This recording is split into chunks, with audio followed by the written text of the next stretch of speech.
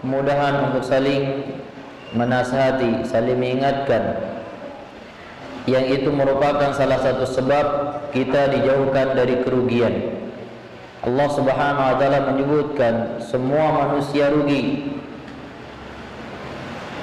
Wal asri innal insana lafi khusrin. Semua manusia rugi illa alladziina aamanu wa 'amilus shalihat wa tawasau bil haqqi wa tawasau bis sabri maka orang-orang yang terus saling mengingatkan saling menasihati saling berwasiat untuk sabar dan untuk istiqamah di atas kebenaran adalah orang-orang yang dijauhkan dari kerugian. Rugi di dunia dan juga rugi di akhirat. Rugi yang dimaksudkan di sini bukan rugi karena urusan dunia, tapi orang-orang yang tidak mendengarkan nasihat, orang-orang yang tidak pernah mendengarkan nasihat adalah orang-orang yang sangat rugi. Karena siapa pun kita, bagaimanapun banyaknya ibadah yang kita lakukan, setinggi apa pun ilmu kita, setua apa pun kita, berapapun umur kita, kita tetap membutuhkan nasihat. Jangankan kita Nabi kita Muhammad sallallahu alaihi wasallam, kita akan dapatkan dalam Al-Qur'an di dalam banyak ayat beliau ditegur oleh Allah Subhanahu wa taala, diingatkan oleh Allah tabaraka wa taala. Maka apalagi kita terlebih lagi kita berada di zaman seperti ini.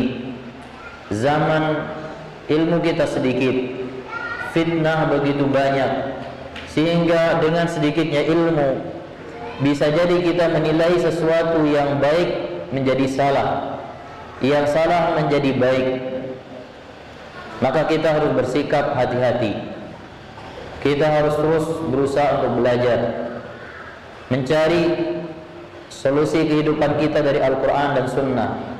Bukan dengan akal kita bukan hasil pikiran kita dan itu sering kita praktikkan dalam kehidupan kita tanpa kita sadari. Kita menyampingkan Al-Quran dan Sunnah dan kita menilainya dengan akal kita. Dengan keterbatasan ilmu kita kita nilai sesuatu itu baik. Ternyata setelah ditimbang-timbang berdasarkan dalil berdasarkan kaidah-kaidah yang dijelaskan oleh ulama ternyata kita salah.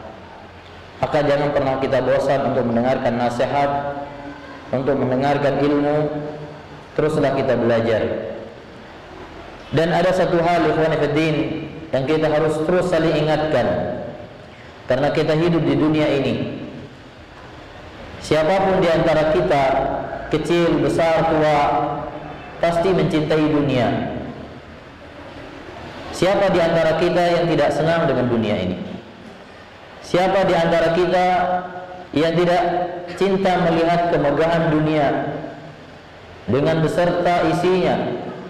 Siapa di antara laki-laki yang tidak senang melihat wanita cantik? Begitu juga sebaliknya. Siapa orang yang tidak menginginkan jabatan yang tinggi? Siapa orang yang tidak ingin hidup bermewah-mewahan?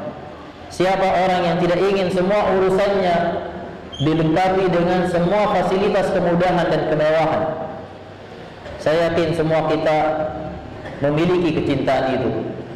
Maka dalam hal ini kita tidak ada bedanya. Tapi ikhwan fillah, ini kalau kita biarkan terus-menerus akan berbahaya. Kecintaan terhadap dunia ini kalau kita tidak punya sesuatu yang menahan diri kita, maka ini berbahaya. Jangankan pribadi-pribadi kita. Jangankan keluarga, jangankan masyarakat. Umat umat ini kata Nabi Shallallahu Alaihi Wasallam hancur karena kecintaan terhadap dunia. Nabi Shallallahu Alaihi Wasallam bersabda dalam hadis riwayat Abu Dawud dan yang lainnya. Nabi Shallallahu Alaihi Wasallam bersabda, "Yushiku an tada'a alaikumul umam kama tada'al akalatu ila hampir-hampir kalian dikuasai oleh musuh-musuh kalian oleh umat-umat yang lain yaitu umat-umat kufar sebagaimana orang-orang merebut makanan yang sudah dihidangkan. Qala qa'il min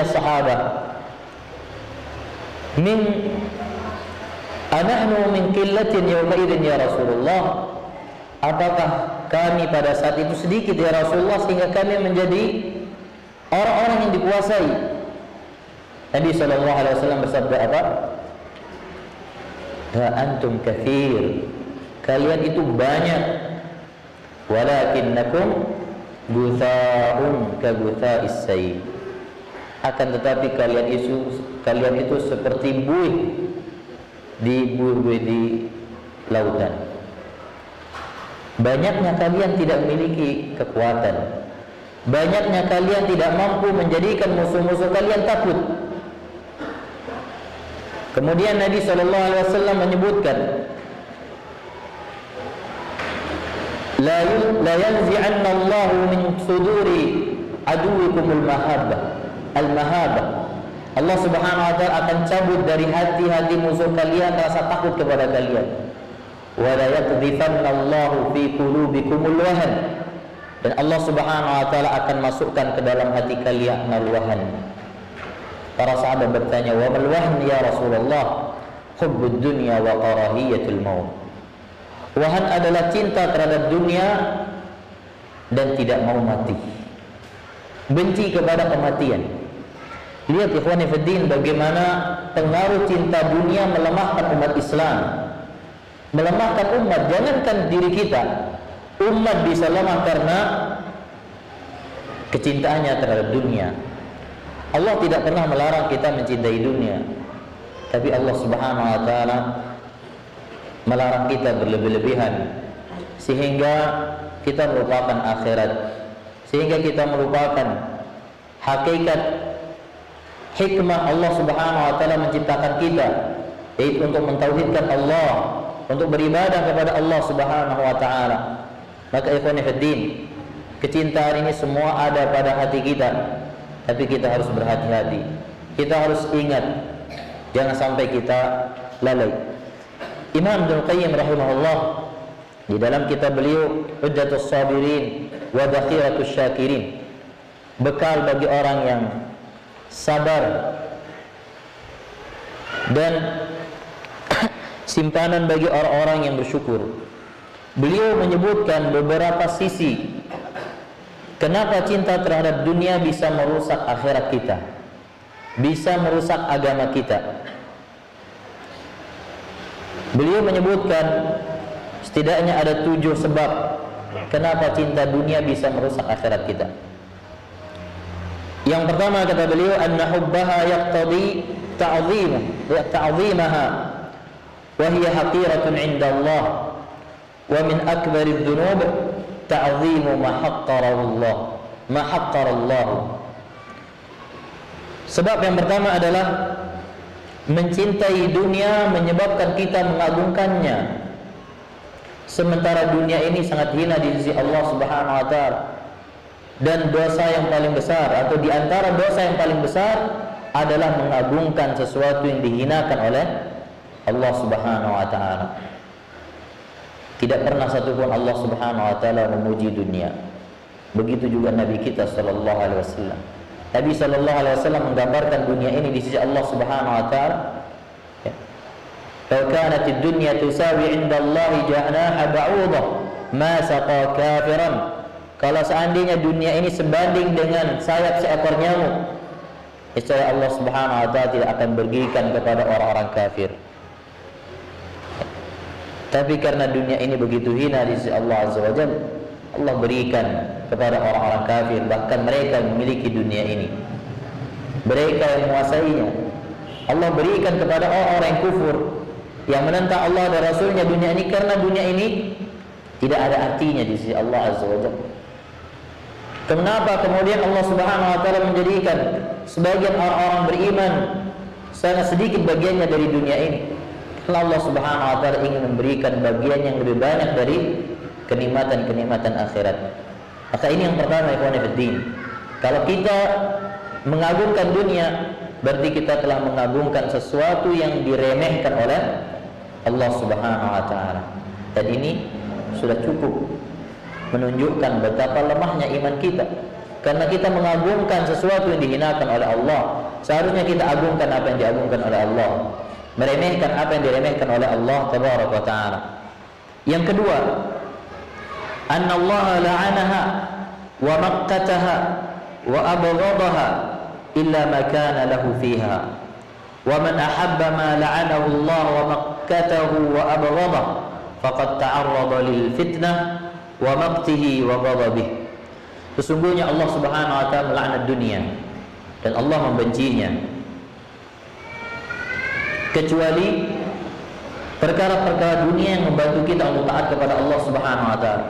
Maka barang siapa yang mencintai apa yang dilaknat oleh Allah apa yang dibenci oleh Allah maka dia telah mendekatkan dirinya kepada apa yang dibenci dan dilaknat oleh Allah Subhanahu wa taala.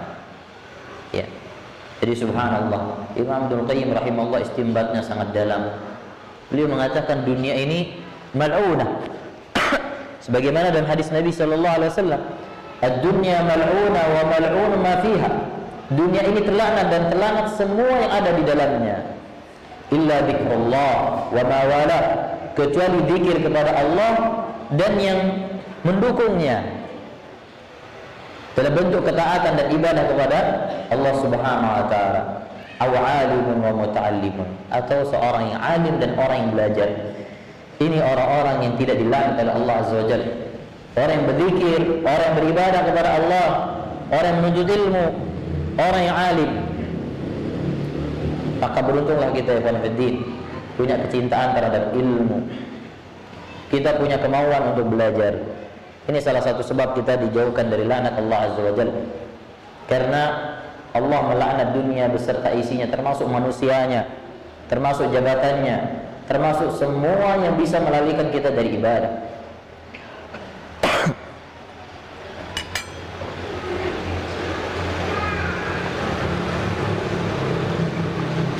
Maka mencintai apa yang dilaknat oleh Allah dan dibenci oleh Allah, maka orang tersebut telah mendekatkan dirinya kepada apa yang menyebabkan Allah murka dan melaknatnya. Waliyadzubillah. Ya. Kemudian sebab yang ketiga, sayyaraha ghayatahu wa tawassala ilaiha bil a'mali allati ja'alaha Allah wasaila ilaihi wa ila ad-daril akhirah. Barang siapa yang mencintainya mencintai dunia, maka dia akan menjadikan dunia sebagai tujuannya. Bahkan dia akan menjadikan amalan-amalan akhirat sebagai cara untuk mendapatkannya. Saking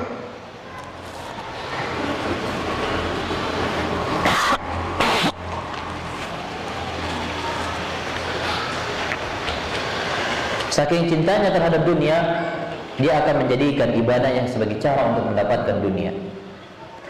Dia akan menjadikan amalan-amalan akhiratnya sebagai cara untuk mendapatkan urusan-urusan dunia.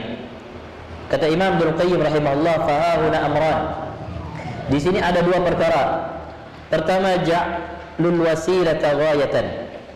Dia jadikan dunia sebagai sebab ini sebagai tujuan. Dunia ini adalah sebab untuk mendapatkan tujuan kita yang sebenarnya yaitu akhirat. Tapi orang yang mencintai dunia akan menjadikan dunia sebagai tujuan. Yang kedua, at-tawassulu bi a'malil akhirati ila dunya. Dia menjadikan amalan-amalan akhirat untuk mendapatkan dunia. Sebagaimana dalam firman Allah Azza wa Jal, "Man kana yuridu al-hayata ad-dunya wa zinataha, nuwaffi ilayhim a'malahum fiha wa hum fiha la yubkhasun."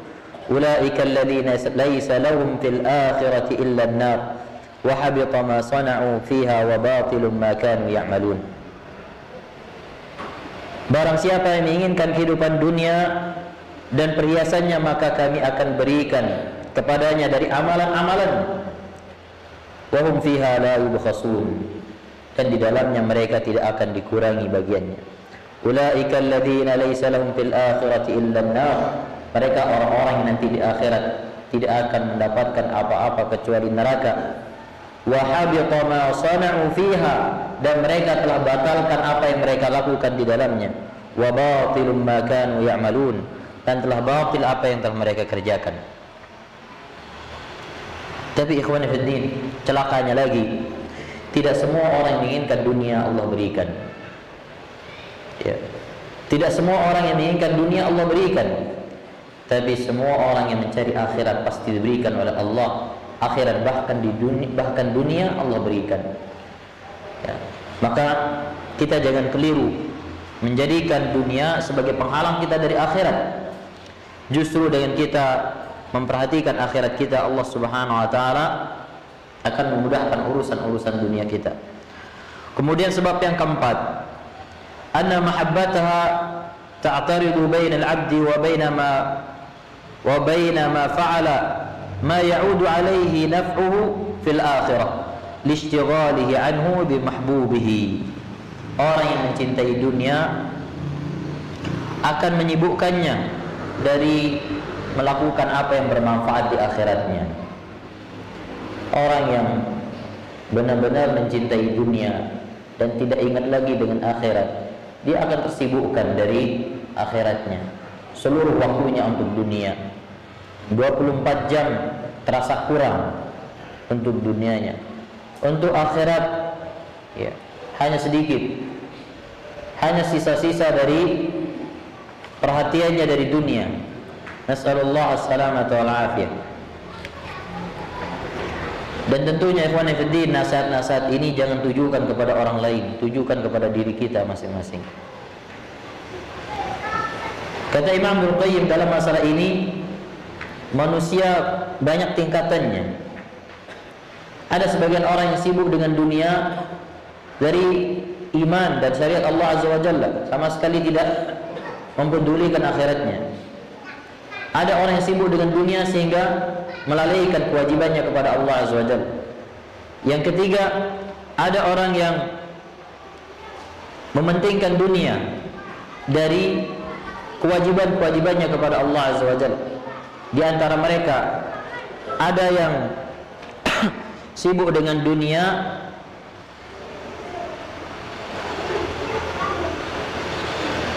dan melalaikannya dari kewajiban-kewajibannya yaitu kewajiban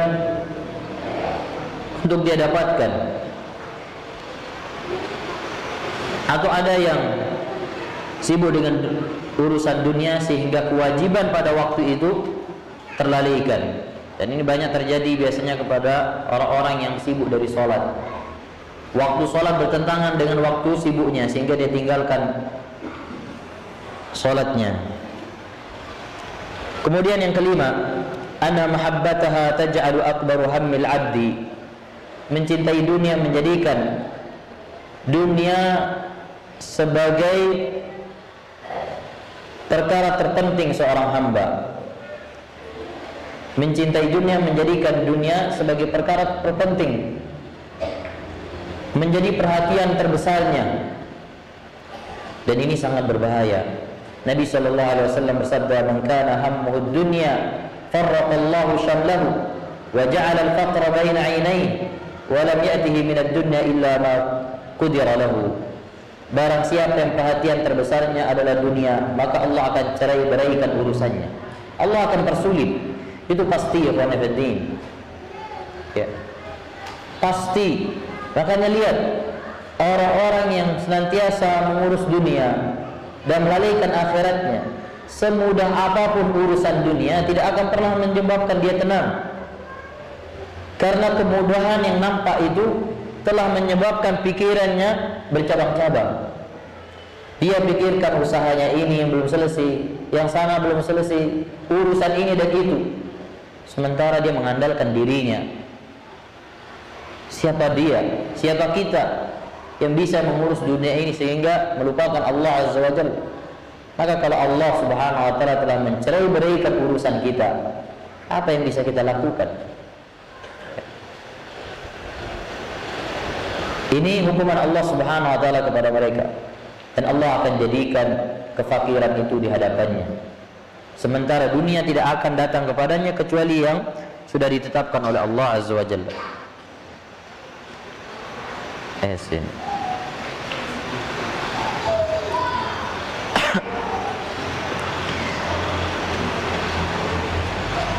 Yang keenam, anna muhibbaha ashaddun nasi 'adaban biha wa huwa mu'adzabun fi dawri thalath.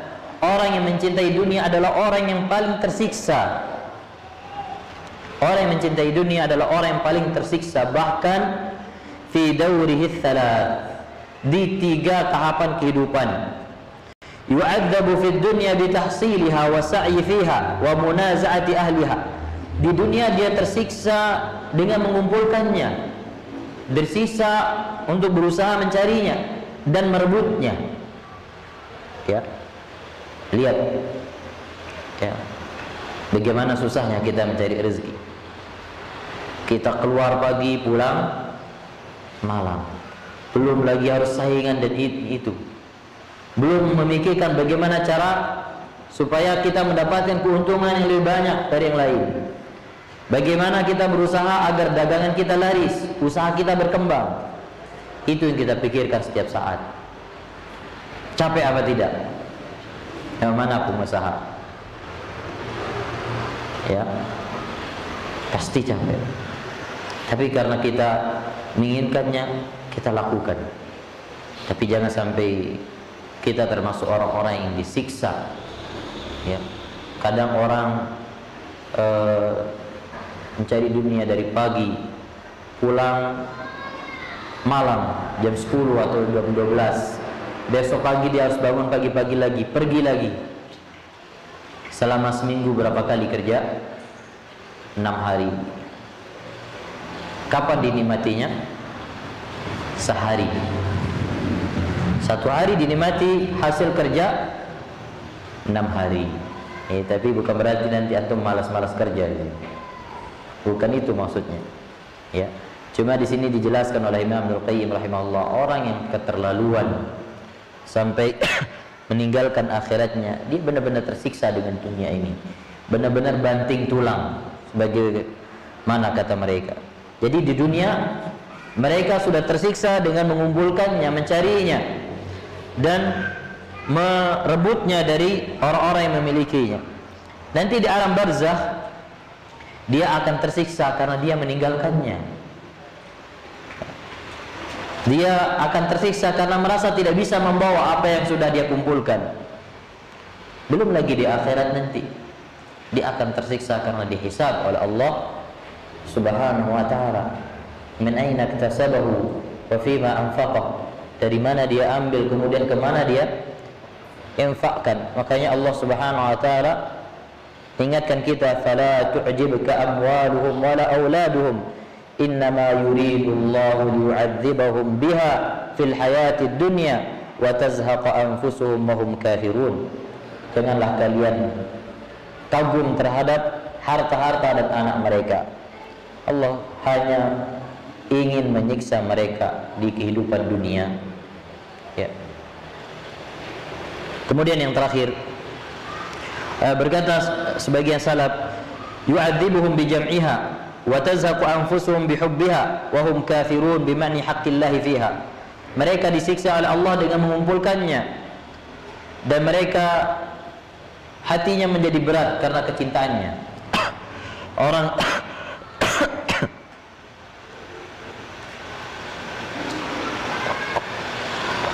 Orang kalau cinta dunia sebagaimana disebutkan oleh Nabi sallallahu alaihi wasallam, hubbud dunya wa karahiyatul maut. Kalau dia cinta dunia pasti takut takut mati. Ya.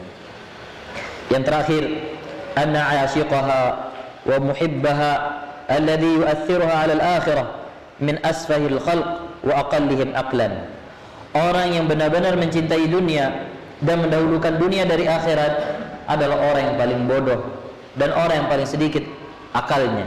Id athara al khayal ala al haqiqah wal manam ala al yaqadah karena dia lebih mendahulukan khayalan daripada hakikat. Dan dia lebih senang bermimpi daripada sadar. Wadzil wazzail ala naim daim. Dia lebih memilih bayangan yang akan hilang daripada nikmat yang kekal.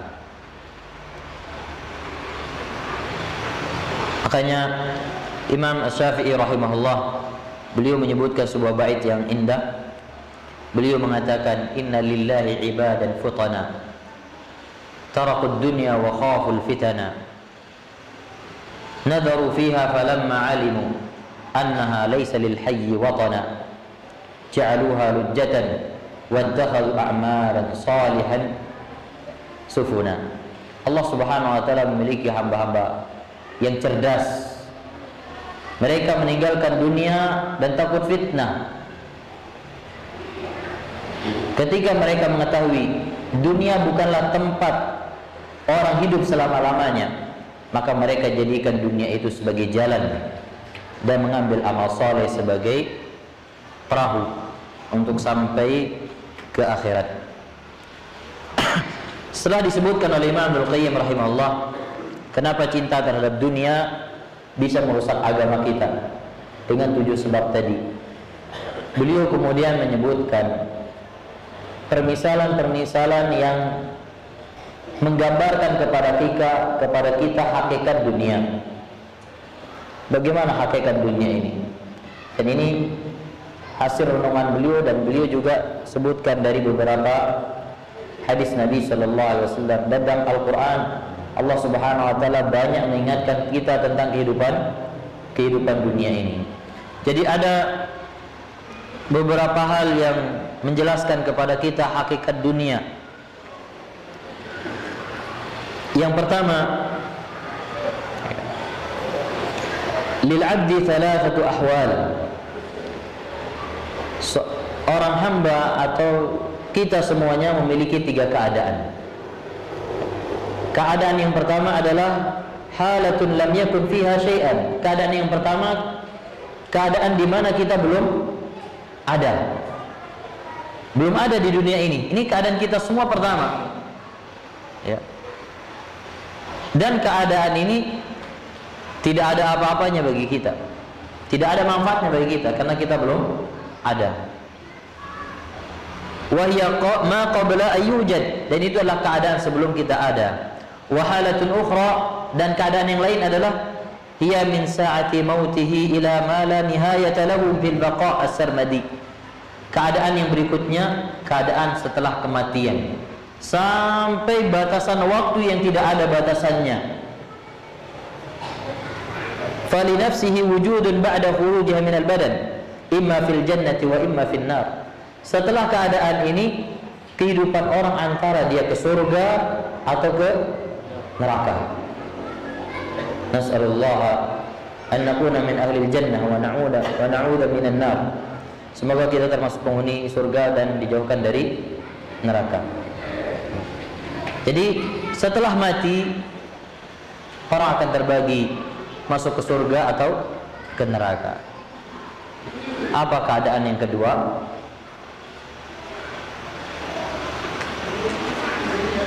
Apa? Antara kita sebelum ada dan setelah kita mati, yaitu hidup di dunia ini. Kata Imam Al-Qayyim rahimahullah, ثم بين هاتين الحالتين وهي ما بعد وجوده وما قبل موته حالة متوسطة وهي أيام حياته kemudian ada satu keadaan keadaan setelah dia tidak ada dan keadaan sebelum dia mati dan ini adalah keadaan pertengahan ila miqdari zamaniha wa ansabihi ila al-halatain ya'lamu annahu aqallu min tarfati 'ainin fi miqdari umri dunya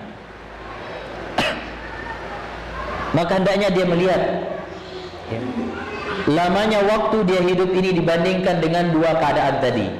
Keadaan sebelum dia ada dan keadaan setelah dia mati. Dia lihat berapa lama dia hidup di dunia ini maka dia akan mengetahui kehidupan di dunia ini seperti kedipan mata. Wa man ra'a dunya bihadzal 'ain lam yarkunu ilayhi wa lam yubali kaifa taqaddat ayyamu fiha fi dhurrin wa dhiqin aw sa'atin wa rafahiyah. Orang yang melihat dunia seperti ini dia tidak akan condong kepadanya. Dia tidak akan bersandar dengan kehidupan dunia dan dia tidak akan peduli dengan keadaan seperti apa dia akan lewati kehidupan dunia ini apa dengan kesusahan kesulitan atau dengan kemudahan atau kesenangan. Kenapa? Karena ini kehidupan yang sangat sangat singkat.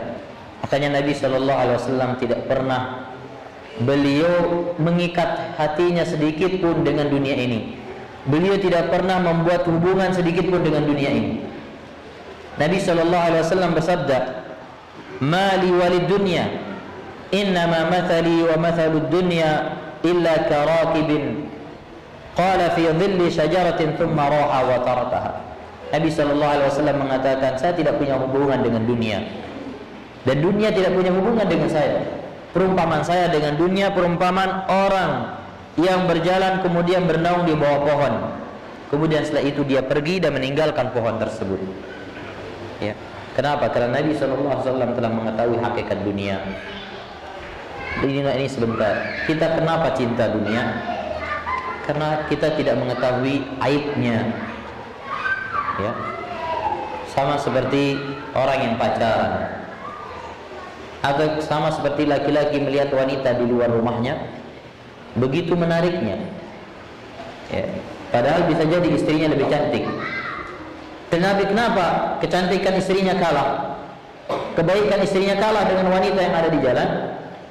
Karena dia belum tahu aib dan kekurangan yang dilihat oh wanita ini cantik. Istrinya sudah dia tahu. Ya. Dia tahu istrinya punya kelebihan tapi kekurangannya juga sudah dia tahu. Sehingga itu yang menyebabkan dia mencintai sesuatu yang tidak dia tahu kekurangannya. Kita kalau terlena terus dengan dunia ini tanpa melihat kekurangan-kekurangan dan aib di dunia ini, maka kita akan kalah dengan kecintaan itu. Dan itu tidak boleh kita biarkan. Kita harus segera sadar. Ya. Coba perhatikan ya Fiddin Berapa yang tersisa waktu kita di dunia ini? Ya. Umur yang singkat ini, jatah kita, jatah umat Muhammad sallallahu alaihi wasallam berapa tahun? Paling lama 70. Yang sudah umur 20 tahun tinggal berapa? 50 tahun. Yang sudah 30 tahun berapa jatahnya? Tinggal 30. Coba sering-sering kita hitung seperti ini. Yang sudah 40 tinggal 20. Yang sudah 50 berapa tahun lagi? 10 tahun. Yang sudah 60 tinggal hitung bonus itu. Ya. Begitu singkat ya kawan Ya. Jadi ini adalah waktu manusia yang paling singkat dari kehidupan-kehidupan yang lain. Dibandingkan dengan kehidupan alam barzakh. Dibandingkan dengan kehidupan akhirat nanti. Ini adalah kehidupan yang paling singkat. Karena banyak Allah Subhanahu wa taala mengingatkan kita juga di dalam Al-Qur'an tentang singkatnya kehidupan dunia. Allah gambarkan seperti tanaman yang hijau kemudian nanti menguning dan tidak lama lagi mengering. Kemudian habis. Itulah cepatnya dunia. Makanya nanti kita di akhirat semuanya menganggap kehidupan dunia ini satu hari atau setengah hari. Ka'annahum yawma yarawnaha lam yalbathu illa ashiyatan aw duhaha. Mereka anggap hidup dunia itu hanya di pagi hari atau di sore harinya saja. Apakah kita akan melalaikan kehidupan yang begitu panjang yang tidak ada batasannya dengan kehidupan yang begitu singkat ini? Maka Jangan kita lalai dengan kehidupan ini. Kemudian gambaran yang kedua, ini hakikat dunia, dunia itu singkat. Apa pun keadaan kita, kita orang kaya, kita orang miskin, semuanya akan cepat berlalu itu. Kita sedih, kita senang, semuanya akan berlalu. Terlebih lagi keadaan kita di dunia Tidak pernah satu keadaan. Sekarang kita senang, besok kita sedih. Sekarang sedih, besok kita senang. Tidak ada keadaan yang tetap. Ya. Tapi subhanallah, kita begitu condong kepada dunia. Padahal kita tahu dunia ini sekarang kita sedih, besok kita bahagia. Sekarang bahagia, besok sedih. Sekarang sehat, besok sakit. Tapi tetap kita senang. Ya. Kita tetap merasa dunia ini telah me banyak menghalangi kita dari beribadah kepada Allah Azza wa Jalla. Padahal ya segitu-segitu aja. Makanan yang kita makan juga akan berakhir, pakaian juga akan rusak, kesehatan kita akan berganti sakit, muda kita akan berganti tua, hidup kita akan berganti mati.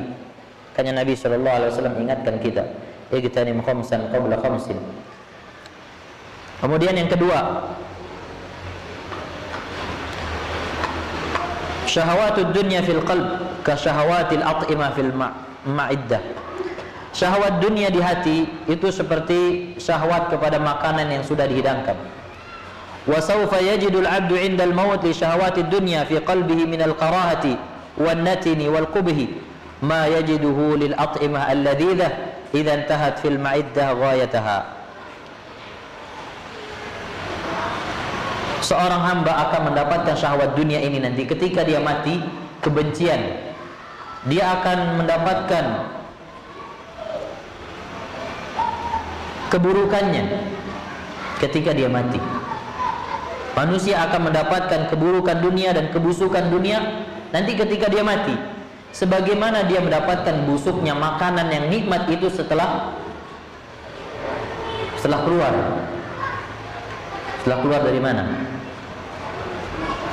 Setelah keluar dari perut kita. Ya. Imam Abdul Qayyim rahimahullah mengatakan makanan itu semakin nikmat semakin manis semakin daging semakin dia nikmat maka baunya yang keluar semakin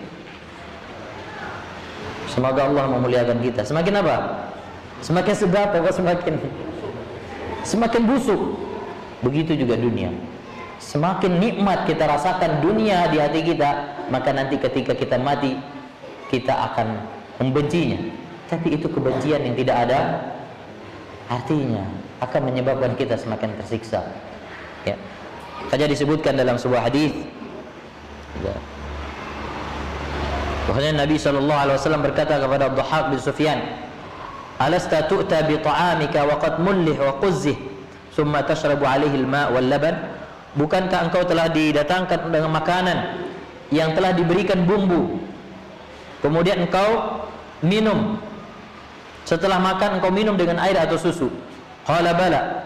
Nabi sallallahu alaihi wasallam mengatakan, "Fa ila madha yasir?" Makanan yang kau makan, minuman yang kau minum ini ke mana akhirnya? Qala ila ma qad alimta. Ya Rasulullah, ke mana dia akan menjadi apa yang telah engkau ketahui? Qala fa inna Allah azza wa jalla daraba mathala dunya lima yasiru ilaihi ta'am ibnu Adam. Allah Subhanahu wa taala mengumpamakan dunia ini seperti ya sisa-sisa makanan yang dikeluarkan oleh manu, manusia. Sebagian salah berkata kepada temannya, "Intaliqu hatta urikumud dunya." Ya. Kemarilah saya akan perlihatkan kepada kalian hakikat dunia fayadhabu bihim ila mazbalah lalu membawanya pergi ke tempat sampah kemudian salaf tersebut mengatakan unduru ila thimariha wa dajajiha wa dajajihim wa aslihim wa samanihim lihatlah sisa-sisa buah mereka lihatlah uh, daging-daging mereka lihatlah madu dan bekas-bekas daging mereka. Itulah perumpamaan dunia yang telah dibuat oleh Allah Subhanahu wa taala. Ya. Akhirnya dunia itu akan seperti itu. Kemudian yang ketiga, ini perumpamaan yang ketiga ini cukup panjang. Saya cari yang lain lebih singkat. Imam Abdul Qayyim rahimahullah menyebutkan 17 gambaran yang menyebutkan tentang hakikat dunia ini. Tapi sepertinya waktu kita tidak cukup untuk menyebutkan semuanya. Sudah waktu Isya belum? Sudah ya. Tapi saya tutup dengan dua lagi. Ini yang ketiga kita loncat, kita lanjut dengan yang keempat. Lidunya wa ahliha ma Nabi sallallahu alaihi wasallam ka dhilli syajaratin wal mar'i musafirun fiha ila Allah dunia dan ahlu dunia dimisalkan oleh Nabi Shallallahu Alaihi Wasallam seperti pohon dan orang melakukan perjalanan menuju Allah Subhanahu wa taala. Fastadalla fi dhilli tilka syajarah fi yaumin sa'if thumma raha wa. Seperti orang yang bernaung di bawah pohon di hari yang sangat panas. Kemudian setelah itu dia pergi meninggalkan pohon tersebut. Kata Imam Ibnu Qayyim rahimahullah, "Fata'ammal husna hadzal mithal." Renungkan misal yang sangat baik ini. Wa mutabaqatuhu lil waqi' sawa. Dan kesesuaian permisalan ini dengan kenyataan. Fa innaha fi khadratiha ka syajaratin. Dunia ini hijaunya seperti pohon. Wa fi sur'atin qidaiha wa qabdiha syai'an fa syai'an kadzil. Dan cepatnya hilang dunia ini seperti apa namanya bayangan pohon tersebut. Wal 'abdu musafirun ila rabbih dan seorang hamba berjalan menuju Rabbnya. Wal musafir idza ra'a syajaratan fi yawmin sa'if la yuhsinu bihi ay yabniya tahtaha daran.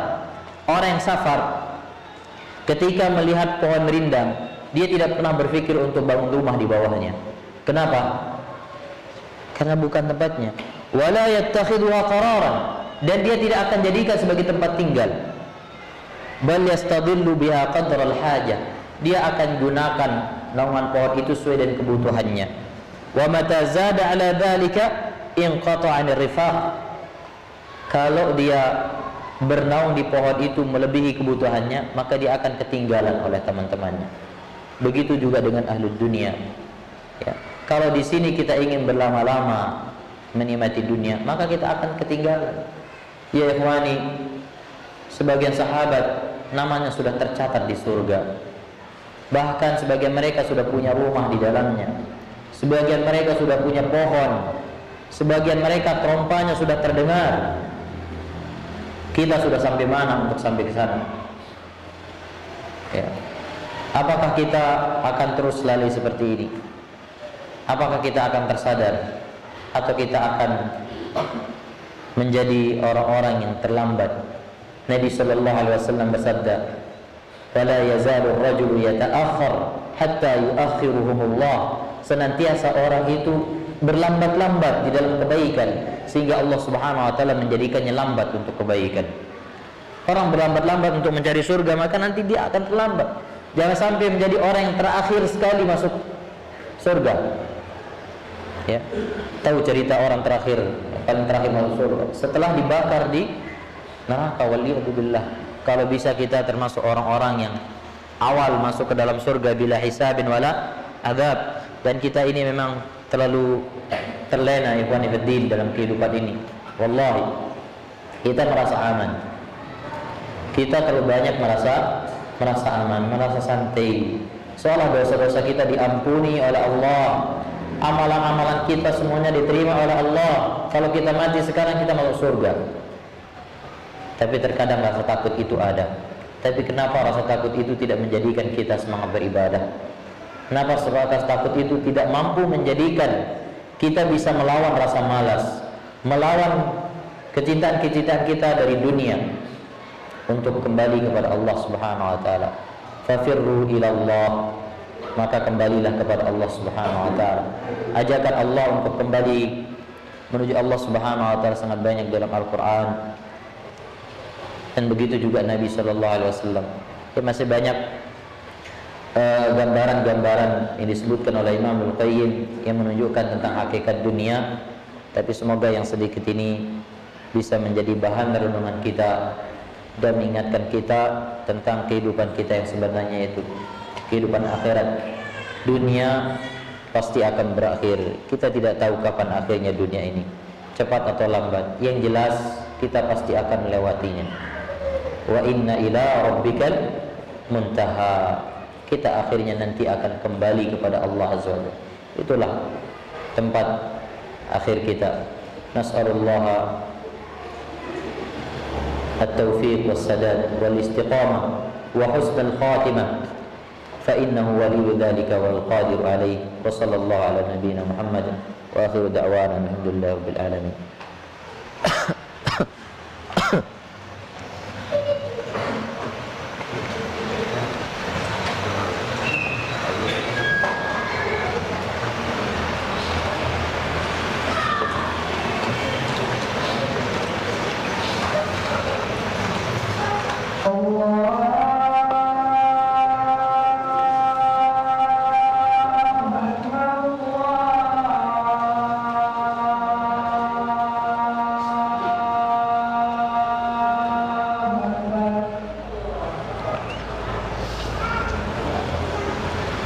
الله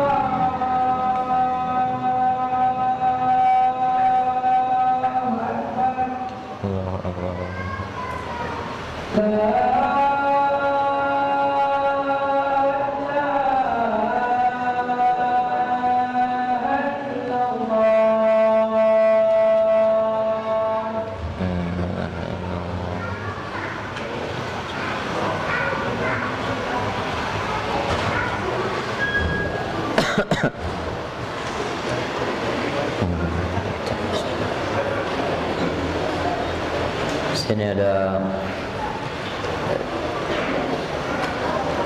atau ini pertanyaan apa curhat ya? Sekarang lagi viral video istri mengantar suaminya ke pelaminan untuk menikahi madunya. Terkadang ada suami yang sengaja menyindir atau mengatakan kepada istrinya, Masya Allah wanita solehah, wanita calon penghuni surga, pemegang bendera faham. Kalau dia solehah, tidak mungkin dia akan viralkan videonya. Ya, pernikahan poligami bukan untuk dibangga-banggakan, diviralkan.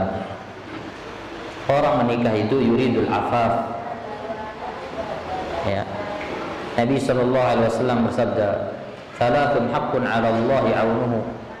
Pertama al-mujahid, awil mukatib, eh, orang yang berjihad, kemudian budak yang ingin merdeka. Kemudian an-naqi yuridul afaf.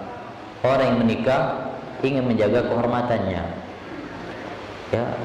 Kalau seperti ini ya dia, dia tidak menjaga perasaan laki-laki yang bertauhid.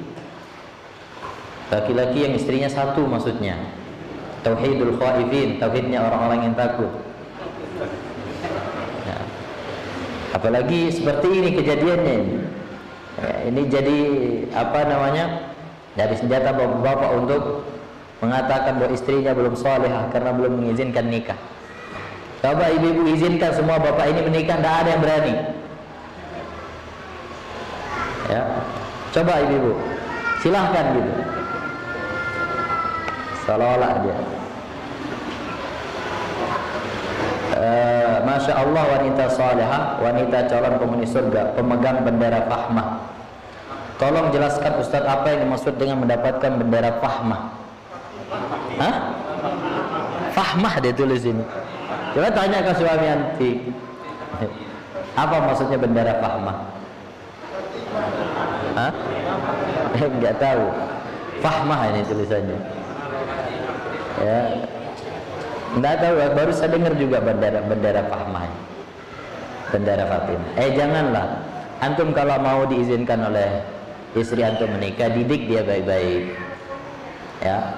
Didik dia baik-baik e, jadilah suami yang membahagiakan istri, yang menyenangkan istri. Kalau istri sudah salihah, sudah baik, insya Allah dia akan izinkan.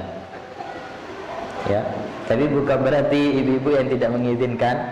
Mungkin dia tidak mengizinkan karena memang keadaan kasihan saking cintanya kepada suami tidak diizinkan ya. jadi yang seperti ini ya kawan Fiddin janganlah dijadikan sebagai bahan uh, apa namanya bahan candaan di tengah-tengah istri ya kalau sekiranya ini jadi bahan candaan di bawah bapak jangan jadi bahan candaan ke istri karena bisa menyakiti mereka ya wanita juga punya perasaan yang harus kita kita jaga. Kalau memang mau menikah, ya bicara baik-baik. Kalau mau menikah nanti anak kasih bukunya bagaimana cara supaya istri mengizinkan. Ya ada kitabnya itu. Tapi bagi bahasa Arab. cara supaya istri mengizinkan. Ya, jadi kalau antum sungguh-sungguh jangan kasih lihat video ini anda belajar dulu nanti. Ya. Barakallahu fikum. Uh, yang jelas seandainya antum menikah lagi maka itu hak antum tapi lihat timbang masalah dan mafsadahnya. Begitu juga ibu-ibu ya jangan menahan suami kalau memang sudah butuh ya. Kalau memang sudah mampu untuk menikah jangan dihalang-halangi. Karena memang sudah jatahnya dari Allah Azza wa Jalla empat ya. Dan laki-laki ketika memiliki istri empat dia bisa berbagi tidak seperti perempuan ya jadi Allah Subhanahu wa taala memiliki syariat yang bijaksana yang penuh dengan kebaikan-kebaikan. Ya. Tapi bapak-bapak juga perlu lihat keadaan keadaan. Ya kita sama-sama uh, apa namanya melihat kemampuan kita masing-masing. Kalau memang satu cukup, ya silahkan cukup. Kalau memang butuh lagi silahkan. Tapi dengan cara yang baik. Dan ini menjadi keluhan setiap saat di kajian. Ya, tidak di sini, tidak di tempat lain sama seperti itu.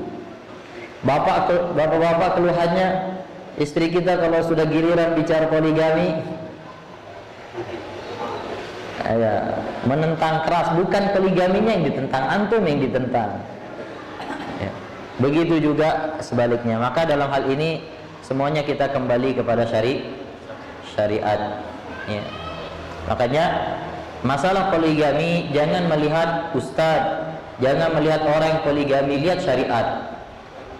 Dulu Syekh Ibrahim Ar-Ruhaili waktu daurah beliau ditanya, "Ya Syekh berikan ya biasa kalau akhir-akhir daurah itu peserta daurah ustaz sudah panas semuanya. Akhirnya nanya ke Syekh, Syekh coba berikan kami pengalaman bagaimana Syekh poligami. Kata Syekh ini syariat Allah, jangan tanya ke saya. Kalau saya ada kurangnya. Tapi pelajari dia dari sisi syariat. Kalau dipelajari dari syariat maka akan kalian dapatkan kesempurnaannya, baik oleh laki-laki maupun oleh wanita. Tapi kalau lihat lihat si fulan itu menikah, dia si fulan dia berani mengizinkan suaminya. Di situ akan ada kesalahan-kesalahan nanti sehingga akan dikaitkan dengan syariat poligami dan itulah yang terjadi. Ya. Orang apabila ingin berbicara poligami berbicara dari sisi syariat bukan dari sisi orang per orang karena ini syariat Allah Azza wa Jal nanti kalau dinilai dari orang per orang maka syariatnya akan salah. Ya, padahal bukan syariatnya yang salah tapi orangnya. Wassallallahu ala nabiyyina Muhammad subhanakallahumma wa bihamdik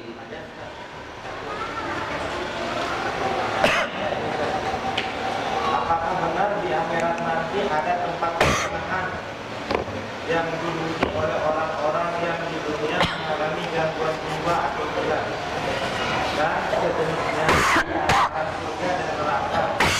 Terkadang mendapat angin surga terkadang mendapat angin neraka. Hmm.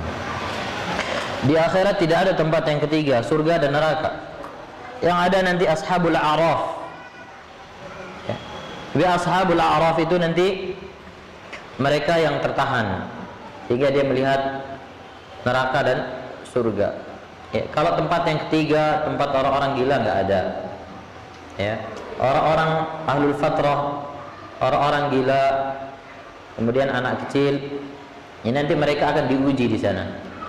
Ya, akan diuji di akhirat. Jadi tidak ada tempat yang ketiga, ima surga atau ima ke ke neraka. Adapun ashabul a'raf itu sementara, tidak selamanya. Ya, bisa dilihat ceritanya di surat Al-A'raf dan itu bukan tempat tinggal mereka jadi tempat tinggal di akhirat itu baik jin manusia antara surga atau neraka tidak ada tempat yang ketiga kecuali binatang begitu selesai urusan mereka mereka berubah menjadi tanah Subhanakallahumma bihamdik asyhadu an la ilaha illa anta astaghfiruka wa atubu ilaik. Assalamualaikum warahmatullahi wabarakatuh.